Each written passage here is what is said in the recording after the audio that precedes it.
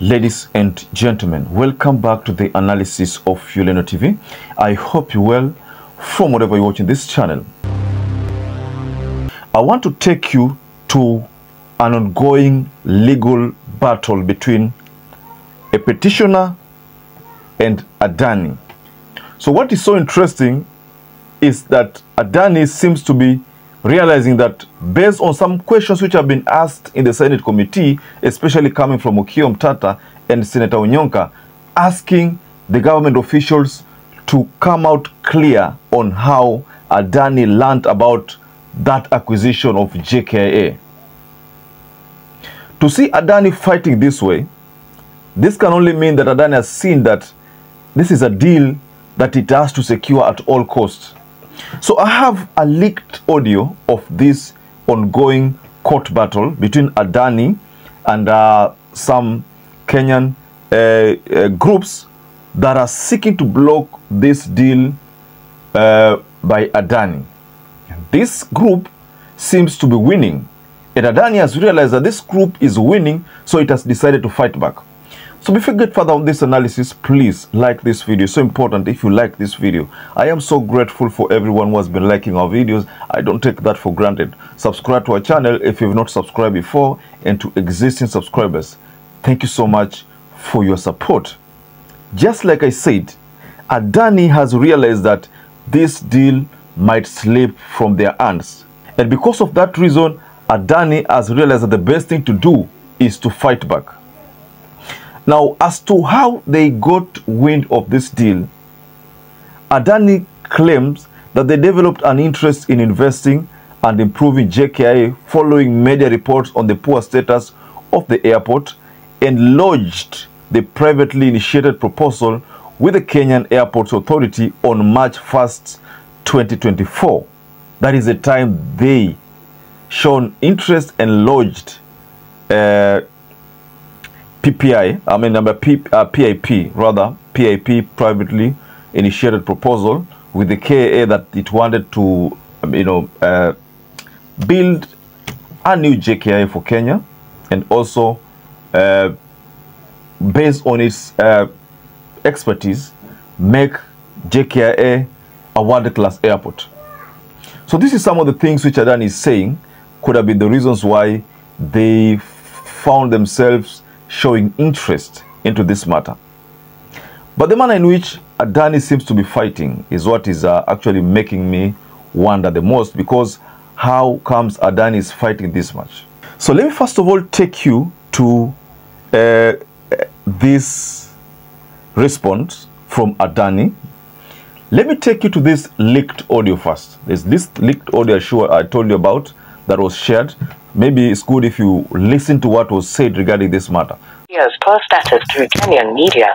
Adani Group learnt of the deteriorating condition of the Jomo Kenyatta International Airport, JKI, through Kenyan media, and new information has emerged.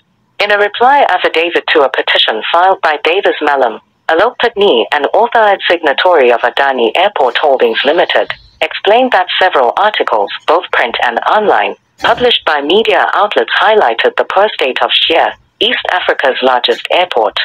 This included a poor state of the airport's lavatories, a lack of clean water, congested waiting bays, consistent power failures, a failing backup generator in the event of power outages, poor workmanship, and the airport's inability to handle constantly increasing traffic.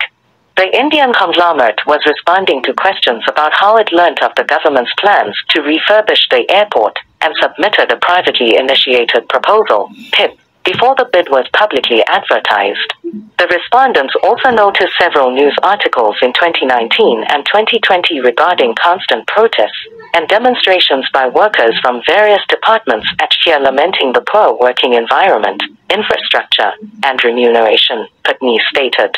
The above articles are just but a few of the several news articles that were spread across the world regarding the poor infrastructure at Shia and called for the urgent need to improve the status of Shia to a world-class airport.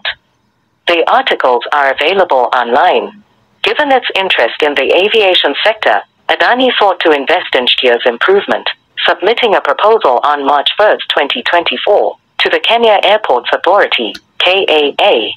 According to Adani, they provided all the required pre-approval documents including tax compliance documents, which are currently in review. I confirmed that the project is still at the review and due diligence stage, and the affirmance by the applicants that the JKA airport has since been leased for 30 years is premature and is an outright misrepresentation of facts, Patni added. The Indian company asked the courts to dismiss Mellon's petition, arguing that the PPP Petition Committee, established under Section 75 of the PPP Act, has the authority to hear any dispute from a PIP. Further, Adani argued that the petitioner failed to exhaust the dispute resolution mechanisms before heading to Very well, ladies and gentlemen.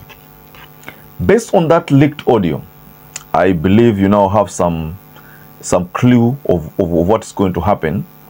What you've learned is that Adani is fighting back.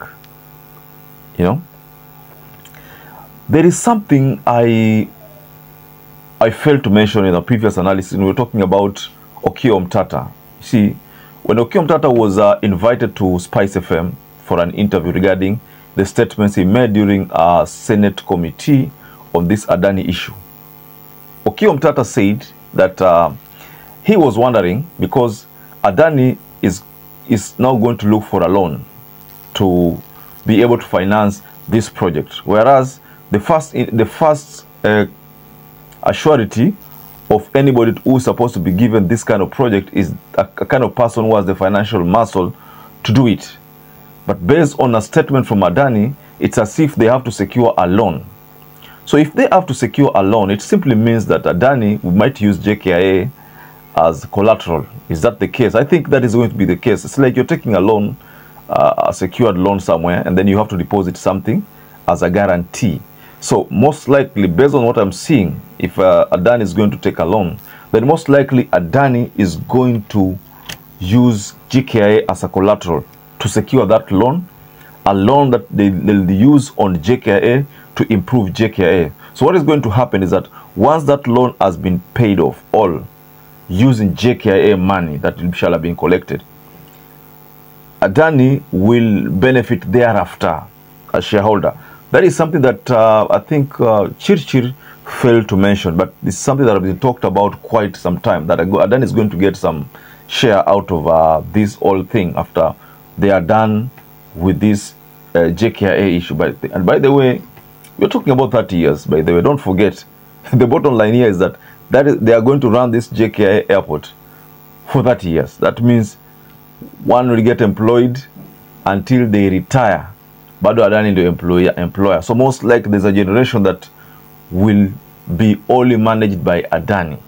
So i think that is what is not making people comfortable with this deal.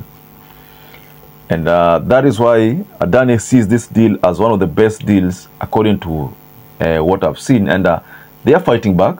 They are in courts and they are opposing this uh, matter that has been taken to high court it's going to be on 8th of uh, October. So they contested that. They are saying that they would rather it be handled by the PPP Petitions Committee uh, so that uh, this matter be expedited. You know, court, there's a court, there's a long process when it comes to court issues. So even most likely, Ruto will finish his whole term. And this, this issue of Adani is still in court. So I think this is what they are not uh, ready for.